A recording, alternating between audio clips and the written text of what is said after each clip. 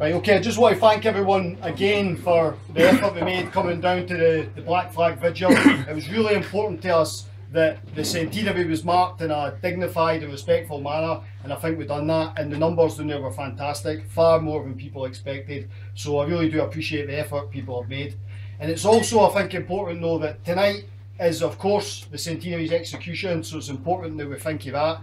And it's in the context of all the different 1916 centenary events that we've attended over the last many months.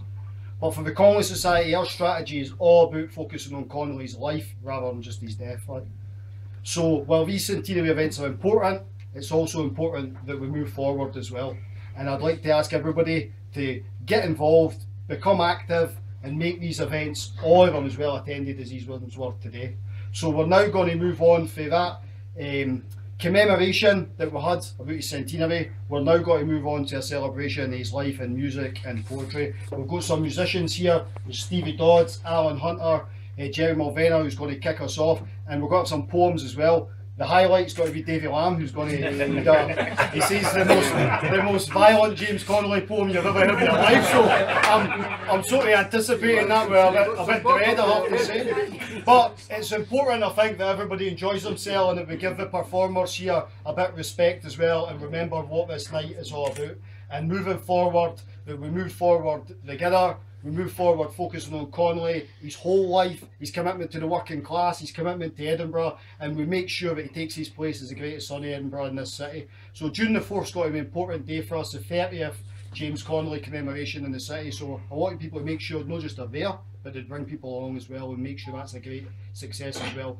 I'm now going to introduce the first singer, and uh, Gerry Mulvenna. And Gerry's got to sing a song for us, which we first heard in the late 80s, and it became something he uh, an anthem for the James Connolly Society. We used to follow Gerry and other people who sang it around the pubs in Edinburgh, being pests in all honesty, demanding that they sing it again and again. And so it's great honour to have Gerry here and he's going to perform it uh, live for us just now. So, Gerry Mulvenna. Thanks very much, Jerry. Uh, it's a real privilege to sing this for you. Uh, the song is about 30 years old, I think now I think about it. So it's the same age as the James Connolly Society. And uh, the first line opens up with a hundred years before I saw the light of morn. So that tells you something that James Connolly was about the same age as me when they executed him. So, because um, obviously a hundred years is now since his death. So, uh, no further ado, I'll just sing the song. So please join in if you know it. A hundred years before I saw the light of morn, in Edinburgh's Cowgate, James Connolly was born. The streets of Little Ireland were his home for many years. From the Westport to St Mary Street, you feel him very near. Oh, how I love to walk in the footsteps of young James Connolly. Oh, how I love to walk in the footsteps of that great man. Well, in 1911, to Belfast he came to organise the union, the women and the men.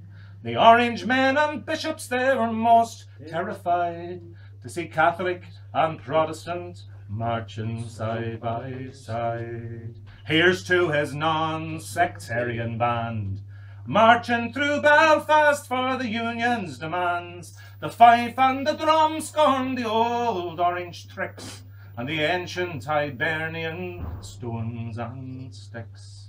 Oh, how I love to walk in the footsteps of young James Connolly.